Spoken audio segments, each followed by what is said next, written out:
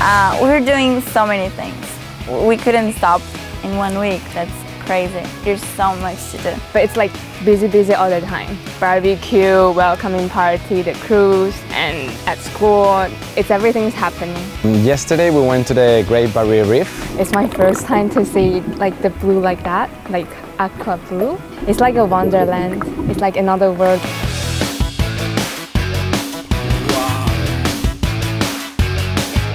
This morning, we went to the waterfall and the water was freezing cold, but it was so refreshing.